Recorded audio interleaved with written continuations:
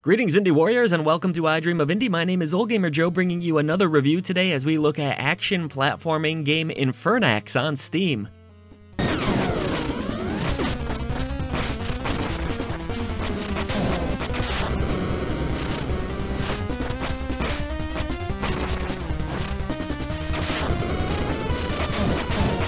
The big inspiration for this game seems to be Castlevania 2 all the way back on the regular Nintendo, but you do have the DNA of other Nintendo games in here as well, such as Zelda 2. Infernax puts you in control of Alcedor, who's on a quest to stop the unholy magic that is spreading his lands in order to restore peace. But actually, you'll make a lot of choices in this game as to what kind of character you truly are on the inside. While this isn't the most in-depth or original story you'll come across, thematically I liked a lot of the subject matter here. I think the writing is fine. Again, again presented in a Nintendo style. Overall, it's rather dark, it's brooding, and if you were a fan of the Castlevania series, the older ones in particular, you'll get a kick out of what they've done here. Gameplay also harkens back to the good old days on the Nintendo. You have a standard whip attack to deal with all the creepy monsters that get in your way. You have a lot of platforming to deal with here, and luckily the jumping feels pretty good for the most part, I would say. Infernax is a fairly open map as well, so you don't have to progress through it in any particular order order necessarily.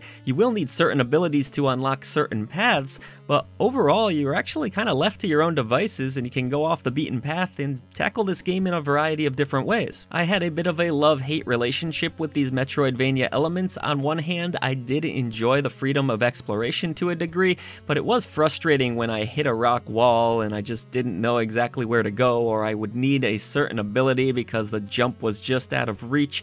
That did lead to a lot of wandering and backtracking because the map in this game is not all that great. One thing I did really like in Infernax is the day-night cycle, which is a callback to Castlevania 2. Monsters will get far more difficult at night, and then during the day things will calm down a bit. It does change the game in some pretty interesting ways that I won't spoil. You'll gain experience off of all of the monsters that you defeat, as well as gold randomly from time to time that you can spend to get new equipment like armor, and you can also unlock some spells along the way as well. The experience system is pretty simple as you hit hit save points in this game, you can spend those experience points to get stronger, or perhaps to raise your health, or even your mana. Perhaps the most interesting gameplay element of all in Infernax, for me anyways, was the choices that you make. You can spare or slay certain enemies or non-playable characters that you come across in your journeys, and this does have a direct impact on things. You might not get certain items because you killed someone's husband, or you might steal from the church, and that could really give you a bad name. I thought it was a really cool system, and it does add some incentive to go back and play through the game and see what some of the other choices will lead to. Infernax is a very difficult game on the classic mode, which was the intended difficulty of this game,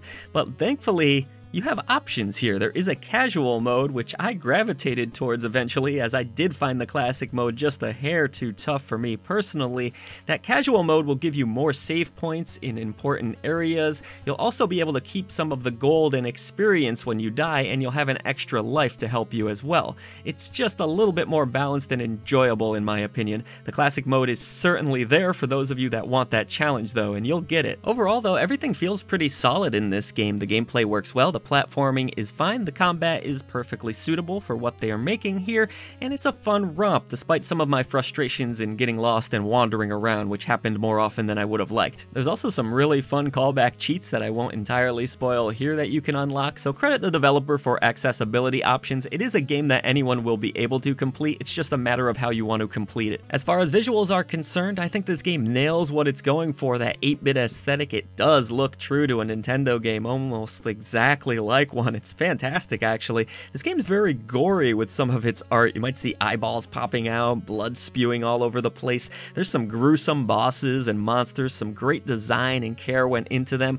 Some of the villages are kind of samey looking from one another, but overall, there's a good variety to dungeons, environments, that kind of thing. I love the pixel art here. It's really well done. And then the soundtrack, you guessed it, it sounds like a Nintendo game with some great hooks, some wonderful composition here, actually.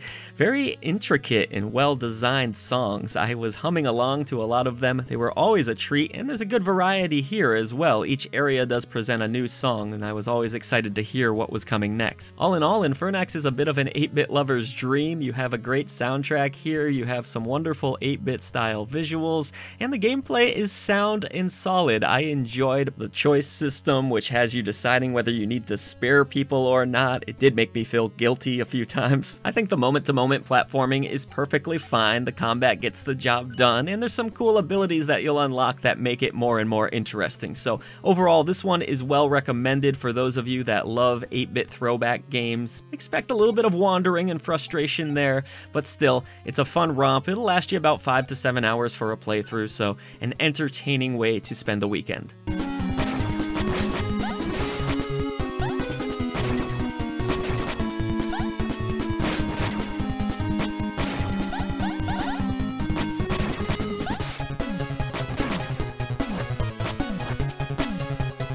Thank you so much for watching the latest video from I Dream of Indie. We would now like to take a moment to pay tribute to our great indie warriors who support us through channel memberships.